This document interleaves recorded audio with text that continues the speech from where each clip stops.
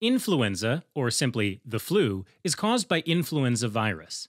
Almost everyone has had the flu at some point high fever, runny nose, sore throat, muscle pains, headaches, coughing, sneezing, and feeling tired. It's terrible. Good news is that it usually improves in a week, but occasionally someone can go from being completely healthy to being seriously ill, requiring hospitalization or even care in the ICU.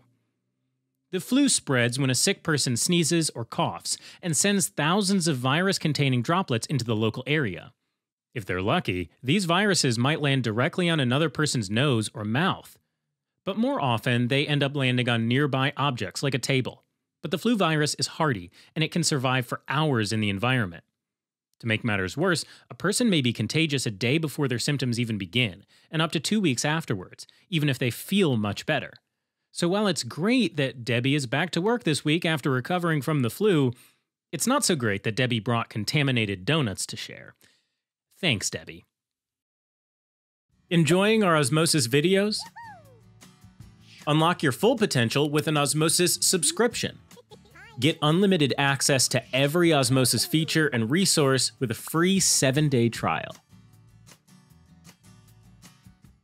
Okay, so if you don't want to feel like garbage with the flu for a week or get your friends, families, and coworkers sick, the most effective way to prevent influenza is through vaccination, which can be done as an injection or nasal spray. These vaccines usually contain a mix of three weakened or inactivated influenza virus strains that are predicted to be the ones that will dominate for a specific season. And because flu viruses mutate rapidly, these vaccines are updated every year. So, how well do they work? Well, it depends. First, high risk individuals like pregnant people, those with a chronic health condition, or those under 6 months or over 65 years of age are more susceptible to the flu despite being vaccinated. Second, since the vaccine is based on predictions, some years are better than others. On average, though, the flu vaccine reduces the risk of illness by roughly half, from about 10% to about 5% in terms of the likelihood of getting sick over the entire flu season.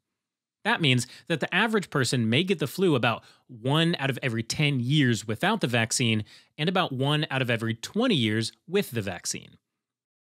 So, for any given year, you might decide that your risk of getting flu is quite low anyway, so it's not worth getting the vaccine. Remember, the flu can do more than make you feel terrible.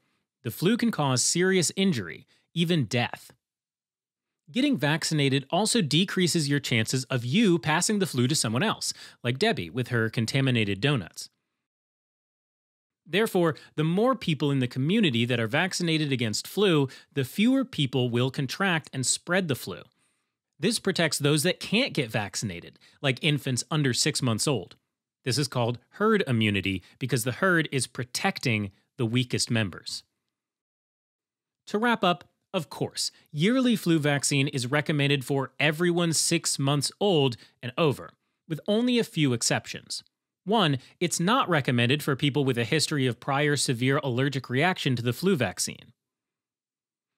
The benefit of the vaccine should be weighed with the risk of influenza complications in people with a history of Guillain Barre syndrome. Otherwise, it's important to get a flu shot every year because of how much the virus can change from the year before.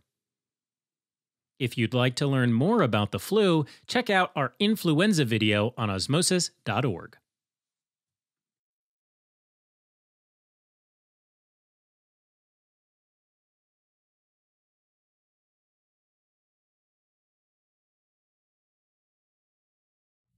Helping current and future clinicians focus, learn, retain, and thrive. Learn more